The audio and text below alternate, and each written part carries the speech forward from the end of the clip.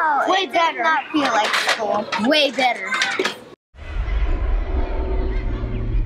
And- And we mean way, way, way better. We're learning how to work together. Uh-huh. Like we're learning how to like build with each other, use the parts with, with each other, and we're learning to share with each other. My name is Stacy Tier, and I'm a first grade teacher at Brill Elementary. So I, I've gone to visit some maker spaces, and also I went to a training with uh, the Texas Technology Conference. It was a couple weeks ago here in Houston, and we just you know learned about this new wonderful movement in education called Makerspace that allows children the opportunity to be creative and to do STEM projects where they're working you know on engineering type projects and building.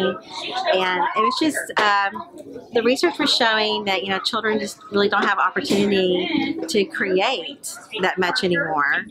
And just to uh, be able to think out of the box and build and and not have the pressure of a grade.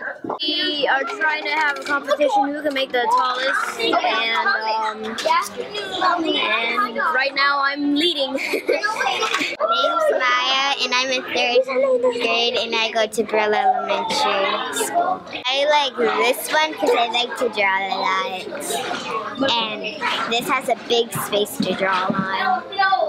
I'm Dana Hernandez, and I'm the principal at Brill Elementary. And we are so excited that through the Lead the Spark grant that Brill earned last year, we have transformed our library, which was an archive of resources, into an active learning commons.